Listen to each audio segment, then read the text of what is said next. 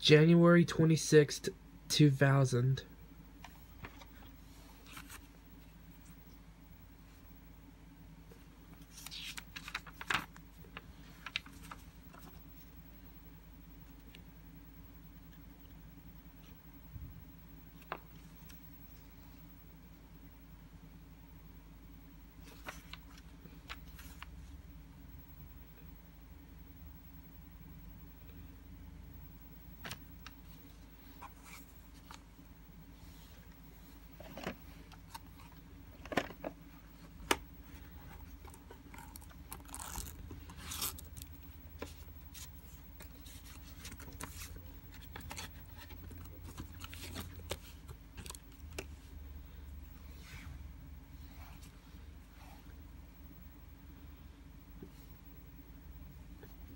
So there you have it.